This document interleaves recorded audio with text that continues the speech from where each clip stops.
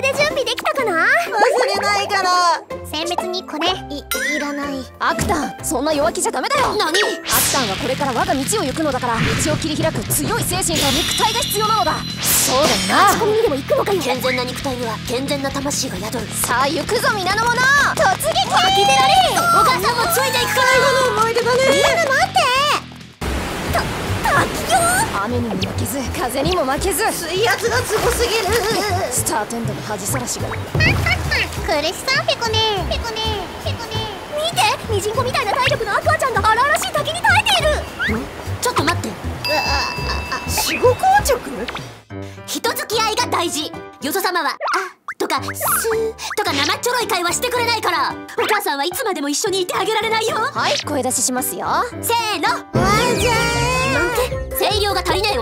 一回行くよ。わじゃってない。気持ちがこもっとらんから伝わらんのだ。中から声出してね。せーの。もう許してやりなよ。肩で息してるじゃん。ーいつまで泣いてんだ？体力が足りねえペコだよこれ。じゃあスタミナのつくもの食べて元気出さなきゃな。な、なんペコなんペコペコちゃん見て何話してんだよ。やめろよ。不安になるだろ？まだまだ行くぞ。と根性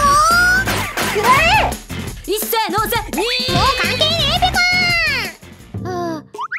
あ他なんかあるかな？ももう十分だって。そうか？てっていうか声が大きい。修行の成果か？こんなことしなくたって私はとっくに大丈夫だよ。そのみんなとのあの思い出とかあるし悲しい時とか大変な時とかそういう時乗り越えられるから。だからいっぱい遊んでくれてありがとうそっかそそもそも私全体で見たら大先輩なんだから心配される筋合いないし。それもそうか。だからアクアぶアクアクタなんかこの人泡吹いてない？あ、あ、いや、こんな長時間誰かといたの初めてで。それだけで？ス、ストレス。自分で言ったな全然ダメだこの先輩。ここはかっこよく背中を見せるシーンでは？一応背中は見せてるね。